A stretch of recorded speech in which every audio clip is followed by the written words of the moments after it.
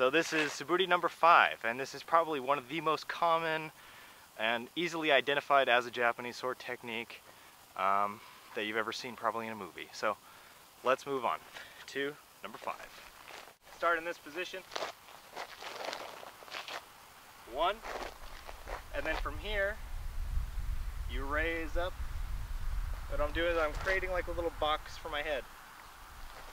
Okay, a little box for my head. I step forward and turn, and then I sink back into my cut. And then from here, again I make a box for my head. Come in here. Elbows are relatively close together. Here. You see I've already started to move off the line a little bit.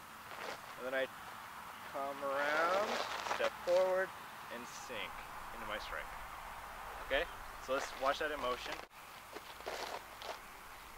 Eight. Eight. Eight. Eight. Okay. Eight. Eight. Eight. So I, I've seen some of this before. People go like this. Do, do, do, do, do. And uh, it's kind of basically what you want to do is keep the same level. You want to keep get nice and synced into your stance so that you can turn around at any time, like this. And you always have power and stability, okay? Like that.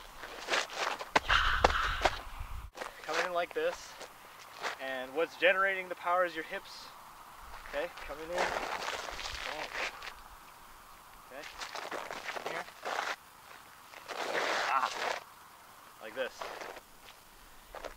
You gotta feel it. You know, you can only watch so many Aikido videos before you have to finally step on the mat and feel it yourself.